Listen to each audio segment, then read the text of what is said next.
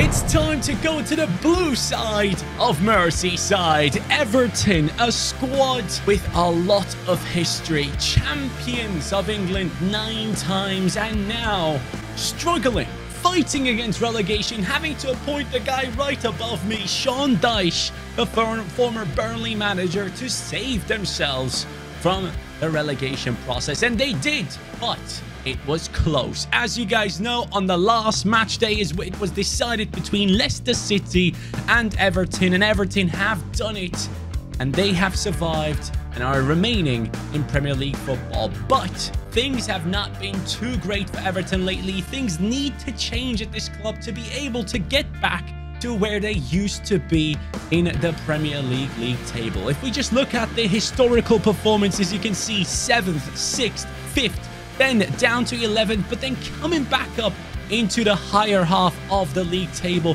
7th 8th 8th and then the demise started last season the one before this one 16th and then 17th obviously we need to look at what is going wrong at everton ownership and also need to go ahead and fix what has gone wrong in this past year 2023 let's do it. Let's do it. Before we dive into the analysis of this squad i want to ask you guys something. So now that you know that everton have won nine titles in england at the highest division and have won five fa cups can you think of any of the top four, top six clubs currently in the Premier League uh, out of those ones who have won titles? So let's just put Tottenham aside. Can you think of anyone really there that is going to be having the same faith as Everton in the future? Do you think there is a club out of the likes of City, United, Chelsea, Liverpool, Arsenal, these types of clubs? Can you think of any of them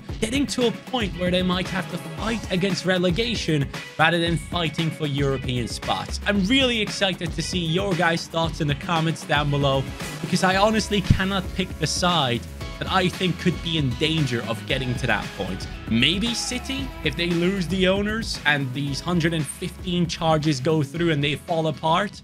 Maybe. I don't know. First of all, let's go through the formations that Everton have played throughout this season. You can see 3-4-2-1, 4-1-4-1, 4-2-3-1 and even the 4-3-3 or even a 4-4-2 setup for Everton in this season, also including a 4-5-1. So you can kind of tell that Sean Dyche is just trying to make the best of what he has available at the club at the time. Like whoever isn't injured, yep, you're in. Basically, that's how things are going. And honestly, guys, I'll let you know, like, I am not 100% well-versed with Everton. So for this one, I will need you guys in the comments down below to teach me the ways. But I am just looking at data for this video specifically. And of course, I know some things about Everton. I know the fact that Calvert-Lewin and most of the strikers for Everton just haven't performed this season. Their top goal contributor is someone named McNeil. This man who has joined them from Burnley, I believe, at the time. Dwight McNeil has played in a more attacking role lately and has been doing quite well and is probably one of the main reasons as to why Everton have survived. So he is probably someone that we need to build upon. But then when you look at other players who have scored goals, Iwobi is the next one with nine goal contributions. After that, it's their center midfielder Doucouré, who has come in with seven goal contributions. And after that, it's Demarai Gray. So you can kind of tell none of the strikers, yes, none of them are on this list. Like Calvert-Lewin, not on a list of top goal contributors. Neil Maupay, who has come in to help in, help in the instance that Calvert-Lewin gets injured, which he does a lot of times. We have him, who has only come in with like I don't even know. I'm scrolling down the list and he's not even in there. He doesn't even have two goal contributions. Like, that is insane. This team is lacking attacking power. And at that point, you might be thinking, okay, so you have Sean Dyche, who is someone who is kind of known for playing this rough play style, defense, defense, defense, and whatever happens in the attack happens kind of thing to simplify things. Is this Everton, Everton team ever going to be a side that is going to be known for their attacking? Is this team going to be one that you look at and be like, yes, I want to watch their football. They actually play amazing football. And I just don't think that's a thing that is realistic at this point. So we need to play to the strength of this squad But at the same time, we need to make sure that we make the right decisions when it comes to the transfer window. And of course, we need to consider rumors of players coming in and rumors of players going out. So let's start off with the transfers and player contracts expiring and all that jazz. So let's take a look at the contracts running out. We are looking at Lonergan, we are also looking at Seamus Coleman and Tom Davies. Those are the players that are apparently being offered a new contract going into the new year.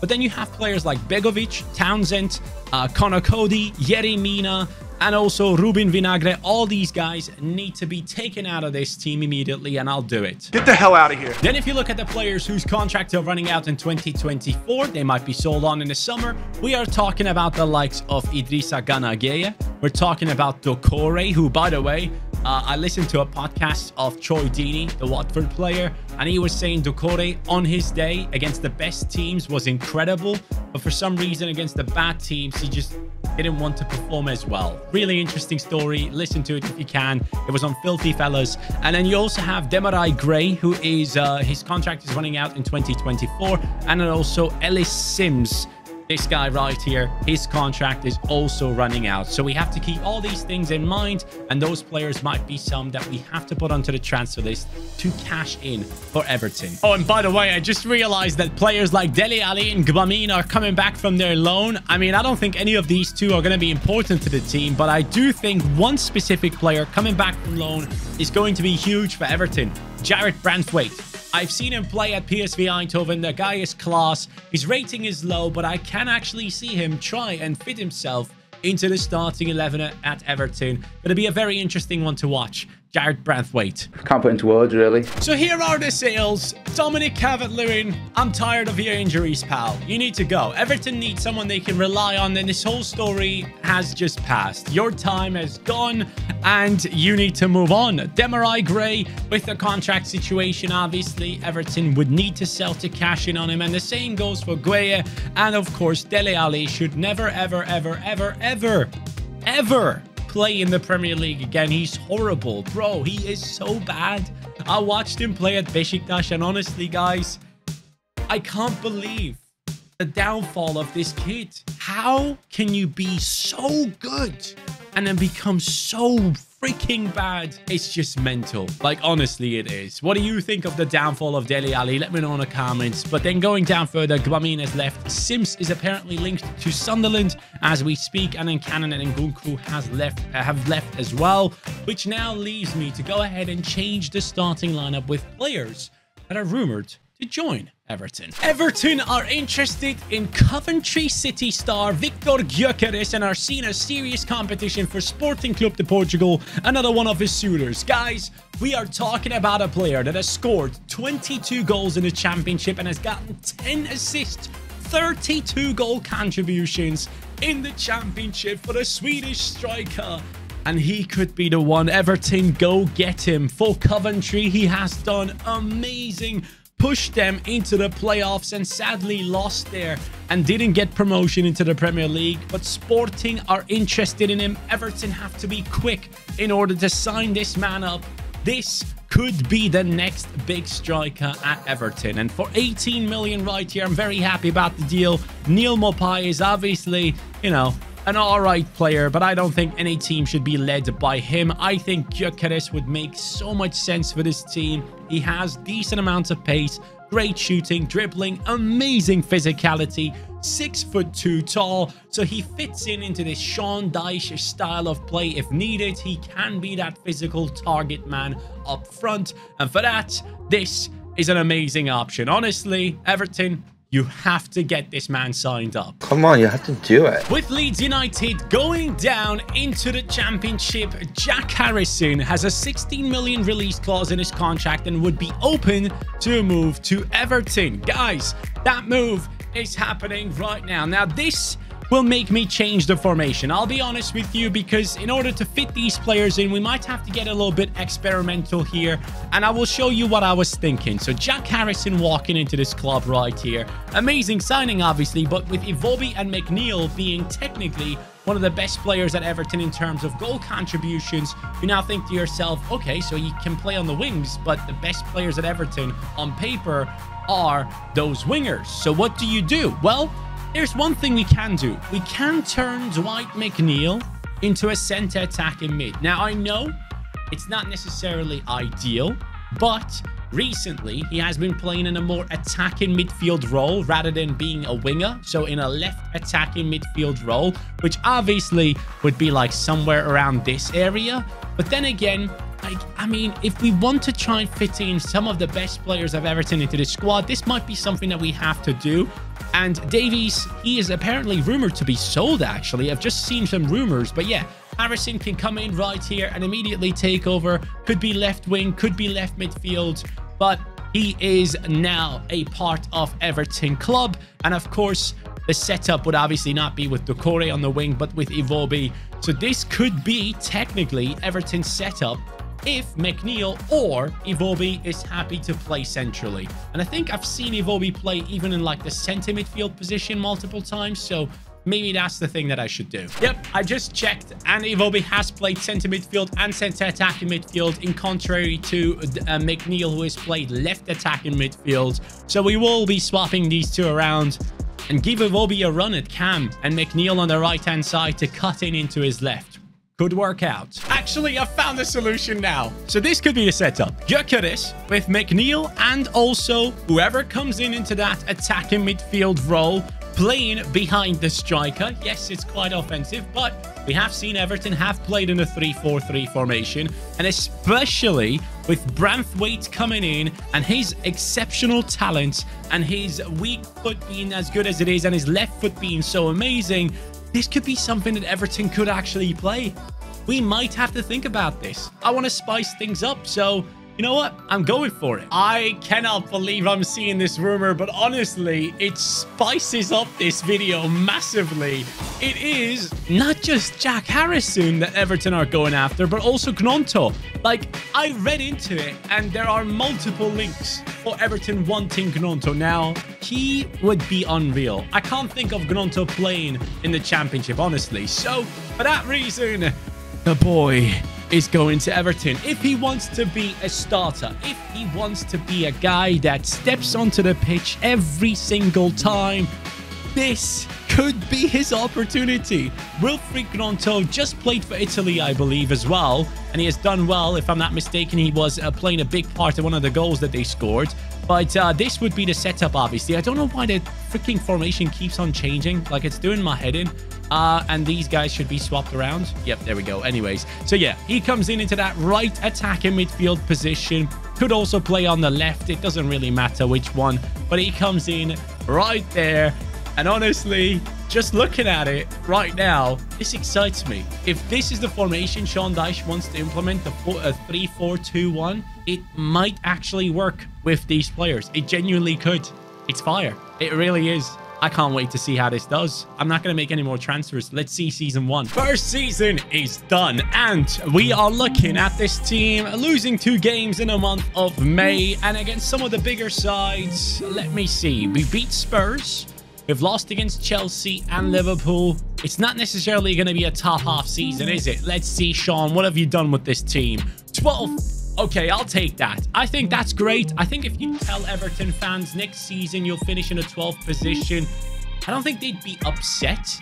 Ideally, they obviously would love to be in the top 10, but the Prem is getting very competitive right now, especially with the money spent lately. So, Everton, if you go from 17th to 12th, Hey, that is fine. But going up the list here, we can see Man City have won the league title. And obviously, that is the ultimate goal that we are trying to chase down. And also, of course, the Champions League. But we'll see how that goes on. The team itself right here, Gyökeres to a 79. Gnonto 78. Iwobi 76. McNeil now a right midfielder with a 79. Harrison on a 78. Onana and Doucouré enjoying the centre midfield. Two very physical uh, players that can play both sides of the game, defense and offense. And Branthwaite, obviously, I would have loved to play him, but the game probably played Keane, so that is a bit of an issue. Tarkowski on the Sean Dyche, he is the one. He plays every game, I guess. And Godfrey in the right centre-back position, since he can also play right back or even on the left-back position, apparently. So uh, I'm very happy to have him in there. And then Pickford, of course, you can't let Pickford go. I know there have been rumors about Manchester United and stuff, but you should not let go Pickford if you can. Uh, uh, so yeah, that's very important. But I'm very happy with how the team is looking going into the next year. Now, we will have bigger plans in the next season for sure. But Gyökeres is the main man. Maupay, hey, off the bench, 11-1. That is not bad. And Gnonto, the third best in terms of goal scoring. Very happy with this season. Great progress. Let's now climb up into the top half of the table with the next transfers. Honestly, lads, been looking for transfers, but there aren't many out there. So we're going to go after what we believe to be the right decision for a team like Everton. Now, obviously, you want to bring in players that can play there for multiple years, but also have sell-on value. So Sean Dyche is going for a new centre-back. It's Santiago Bueno from the likes of Girona. Now, Girona, as you guys might know, have had a decent season. This team is, I believe, if I'm not mistaken, I might actually, I might be completely wrong on this. Are they part of the City group? I might be wrong. Anyways, he has played there and the team itself has done quite well and it is in an upwards trajectory right now, which I like to see. So Bueno is coming in.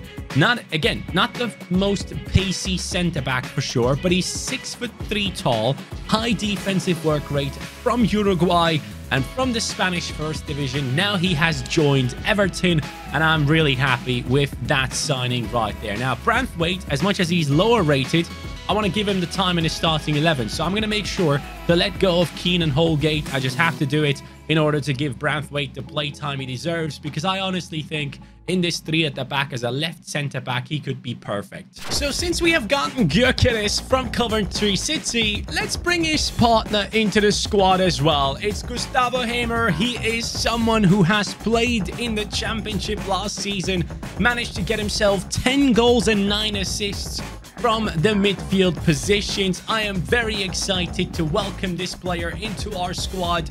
Everton has a new centre mid that could possibly take over from Doucouré in the future. Alongside Onana, that could be a great partnership. So, Eber is here. 20 million spent on this man, and he's coming in with a rating of 78. That's okay for me. Backup for Doucouré, but also someone that can challenge him soon. Oh, actually, I just realized He's higher rated than Doucouré already. So Doucouré is now the backup. Well, I am seeing something interesting, and that is the fact that Iwobi has said, I feel like I have a lot to prove with my football, and I would like to play in the Champions League. Uh, it has always been my dream. I've played in it before, and I want to have the taste again. Very interesting. So, Iwobi, if you want Champions League, I have to replace you, my friend. And we are replacing you with someone who has gotten three goals and eight assists in the Serie A this season for Bologna. It is Musa Barrow. There aren't many centre forwards when it comes to FIFA, so I'm very happy that we could bring in one of them. Musa Barrow will take over Iwobi's position. He comes in with an 80 rating and immediately becomes one of the highest rated players in a team. At Bologna, it seems like he's playing in that left attacking midfield role, so that is just about perfect right here. He brings in a lot of pace into this team, which I am happy about. Welcome to the squad. And now, let's see if a lot of these players can grow past the 80 and push into the top 8. So progress is key, so let's see if we have gotten progress this season. And we were 12th in the last season with Sean Dyche and his squad, and this season it's the 9th position. Now, I'm happy with that. Next season, though, I need to see this team in the top seven. And to make that happen, we obviously will have to improve the team. Considering that players like Tarkowski are getting older as well, we will have to bring in fresh players for this team. But Manchester City has gone ahead and done it once more. And our team is actually really good, you know? Like, I mean, the growth in some of the players has been incredible. Barrow now with an 85. Pickford 87, Branthwaite 77. Keep it up, son. I will forever keep you in this squad. I don't care what your rating is, but that's Tarkowski now 31 years old, 82 rated. Pretty happy with his rating, I have to say. But obviously, we want to go ahead and work into the future of this squad as well. Now, the bench, by the way, is really decent. Like, there's nothing I need to change there. But the starting 11, I'm very, very happy with. It is very offensive, I know. But at the same time, I need this to be exactly as it is and be successful at the same time. So we're going to keep on pushing. Harrison is 27. McNeil is 24. Age-wise, we're looking very good in midfield and in attack as well. So we just need to sort out a few things, and I believe this team can push into that top seven. Now, also, we could be going for trophies like the FA Cup possibly, but Barrow 24 and 11. My guy, first season, incredible performance. The man from Gambia has shown up. So, a young centre-back that is linked to Manchester United as the backup is coming into the club right now. It is the Disasi from Monaco. Yes, AS Monaco's defender is now part of this Everton squad. He comes in with a rating of, let's see, 83, which I'm pretty happy with. So our backline is going to be looking very good by the end of the year. And I honestly believe this team is going to push into the higher ranks I'm expecting European football for sure. And here we go. Season done in 2025. Let's see. Come on, lads. I want to see it. Yes, seventh. Okay, so I would have loved to be higher up, but Conference League football is fine for me. Man City win the title again. At some point, obviously, I would love to challenge them. We'll see if that is something that we can make happen. But the front three here is something I really, really like. McNeil on the right with the 85. Midfield looking very, very solid. Gustavo has already overtaken Onana, and that is apparently because uh, was taking playtime away from him, had to let Doucouré go. So Onana gets all the playtime now. Harrison is looking decent. Branthwaite up to an 80. Defense looking good. Pickford on an 88, as he is now, I believe, 31 years old or something now. And Gyökeres is the guy. Barrow, Gnonto, front three doing wonders. Hamer getting involved into the attack. And Onana has gotten himself his best season with 10 assists. Guys, Everton is on the up, and we are now playing in Europe. Let's get it. And to take us to that next level, I want to bring in Noah Lang. I need Champions League football, and I need someone that is going to be a bit more athletic than a Jack Harrison and possibly can grow even more. So, it is going to be the Dutchman who in the past in his career has had a lot of issues with coaches and everything. Uh, but still, he is going to become our new left midfielder, dropping Harrison onto the bench. Now, they are on the same rating, but I fully do expect uh, the main man himself to go up in his rating quite quickly. So let's sort out the bench and ch uh, check out his stats here. He comes in with 90 pace. Like comparing him to Harrison, you can see more pace, more shooting, more dribbling, more defending, more physicality. Basically just a better player, but somehow at the same rating just due to the passing difference. So Noah Lang Welcome to this club. You better be performing. Or else I'll kick your ass. Lads, we have a European final. Yes, we're up against the likes of Olympique Lyonnais after going ahead and playing against Austria Wien and also Atalanta out of all teams. And Sean Dyche has carried this team into a European final with Gyökeres leading the line, Barrow and Gnonto surpassing him in rating, which is interesting. McNeil and Lang also around the same rating as our striker. Onana 86, Hamer 87, and defense looking solid with Branthwaite finally pushing up to those ratings that are making me very happy because we need at least like 84, 85s in a team to get into those European positions. But also Premier League, lads. Let's see. Third, let's go. We are a Champions League club. Now, here's the catch. Look at that. City, United, Everton, and Spurs, and Liverpool all within like two points of each other. That was an insane season. Congratulations to Everton and the lads. We were so close to the title. Maybe next season we can make it happen as we play Champions League footy. And I gotta say, the front five, I guess we need to say now, they have done really well. Apart from the centre mids, anyone else in midfield and attack has gotten loads of goal contributions, and that's exactly how I want this team to play. So now they get the chance to step it up and win their first trophy. Come on, lads. Everton for the win. Gustavo has done it. Our first big trophy right here, guys. Let's gather some more. Okay, so Napoli has been beaten, and in the league, we have been quite good this season, guys. A lot of draws lately. Can we finally win a game? Yes, we can. But we have lost against Bilbao, but it is enough. Okay. So Napoli, Bilbao, and Marseille on our way to the Champions League final here. And I gotta say, we got really lucky. Guys, this might be one of the technically easiest Champions League of runs we have ever had right here. No disrespect to these teams, but this is incredible. I can't believe we've actually made it here. I thought we were going to go longer since Everton is not... I mean, it takes a lot more work to rebuild this team. to become world class, but there it is. 90, 91, 90, 89 on both wings, 89 in the center, 88 on Onana. He's the captain, apparently. Congratulations. Branthwaite on an 88, Disasi as well, and Bueno. He has finally caught up to the rest of the team. Congrats. And Pickford on a 91, and the bench is actually still pretty good. So, ratings-wise, very happy. And Everton, you have impressed me, I gotta say. So here are the stats for the players. Gnonto, 38 and 3. Main guy when it comes to goal scoring. Gyökeres with the 32 and 3. And Barrow, 26 and 12 from that man right there. McNeil with 18 assists. Hamer and Lang with 10. Onana with 7 for himself. The entire team has done really well, but I think we had too many draws to win the Premier League here. Let me see. No, not the FA Cup. Come on. I wanted to see the Premier League. Oh, First place ahead of Liverpool. Oh, there you go. The Merseyside battle for the title. And Everton have done it. Congratulations. It's a close one once again, but that is amazing. The double is on the table and we could just grab it if we beat this Juventus team. Vlahovic, Juri, ooh, okay. Chiesa, Sole, okay. Rovella is still there. Merino, Chouameni, Gatti, Romero, Dragushin, and Trap in defense. Gatti, I think, is the one from San Lorenzo, if I'm not mistaken. That is an interesting lineup. A lot of great players in there. I don't know if I should be worried or not. So, Onana stepping onto the pitch as the captain for Everton.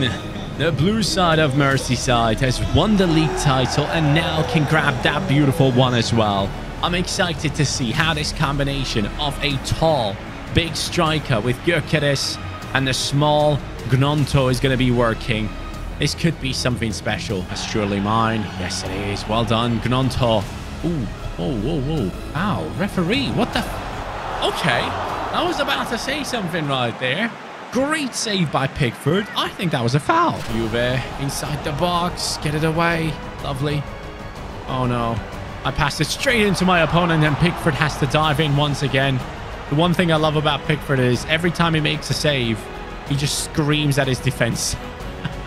I don't know why he does it, by the way. Must get annoying if you're one of their players. Gnonto sprinting away from people, just showcasing insane amounts of pace. Gnonto! What a magician! Incredible! Oh, that strike is just beautiful. This kid has bags of talent and has shown it against one of the team from his own country. One of the teams from his own country. Italy is watching and Gnonto has just gone mad. All right, here comes Juve now. Inside, yes, lovely work. Gnonto, he actually feels unbelievably quick, by the way. Look at the dribbling on him. The defender's just falling apart. Gnonto is still going. Come on, son. Come on, far post. You see him. Beautiful. Oh, that needs to go in. Gnonto has done all the work for him to just ruin it. Get closer, get closer, faster. Oh no, that man should have taken a shot and the ball just lands in front of him, of course. Dusan Vlahovic scores his goal. Man, when he was at Fiorentina, the entire world of football wanted him. Juventus got him, and after that, it was a bit of silence, wasn't it? And now teams like Bayern Munich are apparently interested in him. It's going to be interesting to see where he actually goes to. Does he stay at Juve or take on a new challenge? After such a short time at Juve already, Vlahovic makes it 1-1. Juve is increasingly taking control over this game, and I do not like it. Great touch there from my defender. Gnonto steps forward. He just runs away. Honestly, guys, he's the fastest player I've ever used on FIFA 23. Look at the pace on this. He's just a joke. He is just single-handedly going to be winning us this Champions League trophy, isn't he? Gnonto once more, 2-0, this time in that right centre-forward position, just waiting for his moment to turn on the afterburners and just sprint away from everyone. Oh, bad pass. What the hell? I thought I had them. Oh, please. I needed a tackle. I needed... Okay. All right, lads. This is a back and forth of two teams. I honestly thought I had a good pass on there, but it turned out horrible. None of my defenders were able to catch up. Sean Dyche is probably absolutely fuming considering that defense is very important to him and we've already conceded two goals. Thank you. Good one finally. Hamer into Onana. And there goes Gnonto again.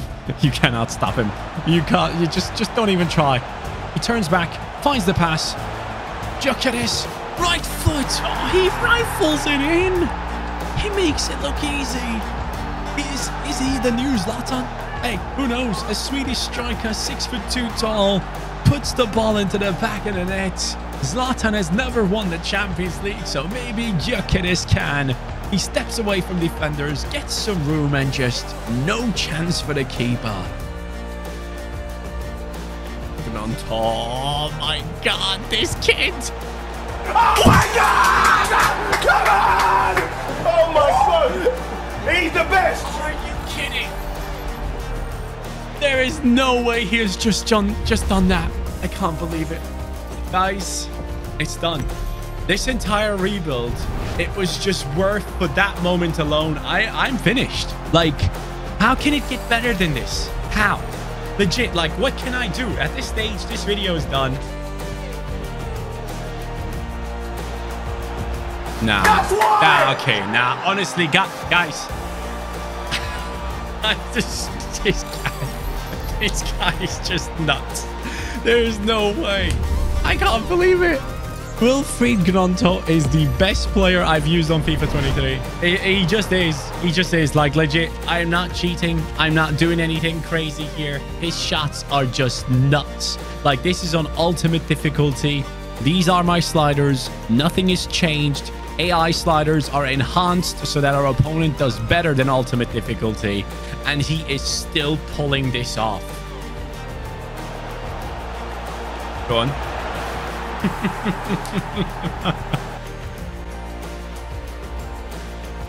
nah, you don't do that again. Oh my god, bro. All right. Just one more goal for Juve. Honestly, guys, this turned out to be one of the most enjoyable rebuilds I've done just because of the gameplay. And I really want to thank the people that are watching the gameplay parts because sometimes magical things happen. And even I can't believe they are happening. And honestly, I'm just glad that I can show you guys that I'm not cheating. Like this gameplay that you're seeing always is going to be on ultimate difficulty making it even harder on myself, but still I try my best to come up with entertaining moments, and Gnonto today made it easy. He is the hero of this rebuild. Thank you guys so much for watching. I will catch you on the next one. Take care and peace. Gnonto, you're nuts.